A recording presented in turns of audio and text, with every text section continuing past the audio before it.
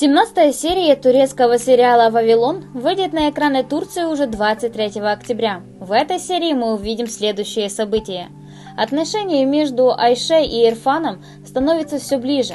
Ирфан не собирается оставлять позади свою месть, и пока он не заставит рассчитываться по счетам Сулеймана и Егемена, то не сможет жить спокойно. Ирфан отправился к дому, где теперь проживает Эда, с его бывшим лучшим другом, который оказался настоящим предателем.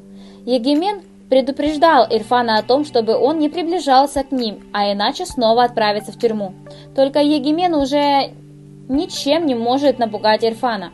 Этот человек причинил слишком много боли Ирфану и перевернул его всю жизнь в один миг. Ирфан хотел поговорить со своей женой и помириться, но спокойного разговора у них так и не получилось. Егемен услышал эти крики и вышел на улицу, а затем стал оскорблять Ирфана. Это старается сделать все для того, чтобы между мужчинами не завязалась драка. Она отправила Егемена в дом. Друзья сдерживали как могли Ирфана. Они попытались успокоить его, но все это было бесполезно. Эда хочет, чтобы все это поскорее закончилось и высказала все Ирфану, а затем попросила его не приходить больше в этот дом. Ирфан никак не мог услышать подобных слов от этой женщины, которую он любил, но она воткнула ему нож в спину и жестоко предала.